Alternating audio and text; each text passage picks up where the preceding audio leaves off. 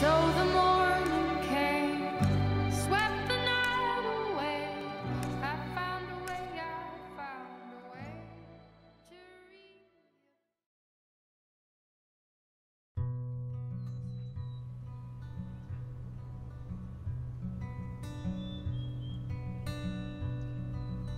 So, this is it? Yeah, It looks like a nettle field. And it stinks.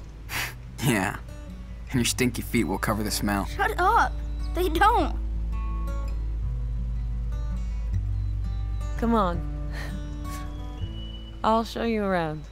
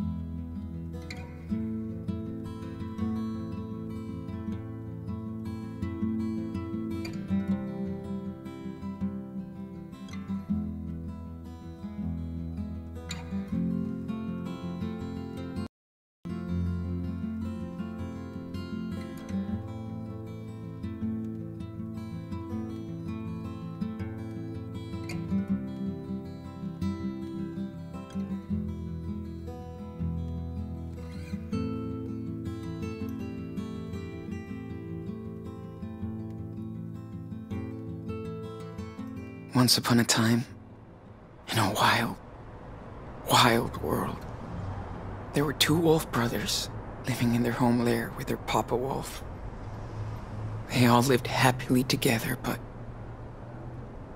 one day, hunters took their dad away.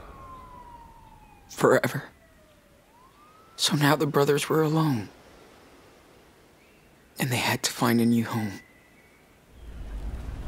That's when the big brother discovered that the little one was not an ordinary wolf, but a super wolf. And then they worked together to learn how to use his power and to follow the rules for them. They discovered a secret hideout where they could train day and night. They were happy. But the little wolf got very sick so they had to move on. On the way, a deadly predator attacked them. But they scared it away. They decided to journey to the home of their nearby ancestors to seek help. Finally, the tired and hungry brothers made it to the home of their ancestors. The old wolves invited them to stay. They even took care of them. They were happy to have a safe, warm place to rest. The little wolf even made friends with a raccoon, and together they went on awesome adventures. Unfortunately, hunters were hot on their trail and found them.